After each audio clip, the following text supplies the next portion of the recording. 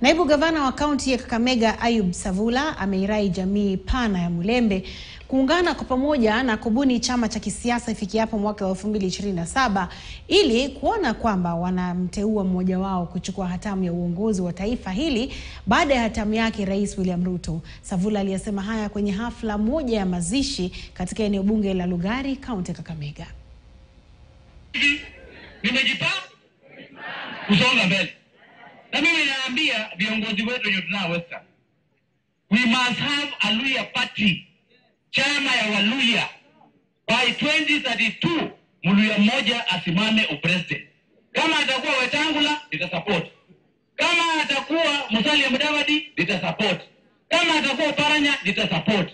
2042 kama hawa wanaume hata deliver urais watoe jamu barabara, mimi nisonge mbele, alafu tuonane.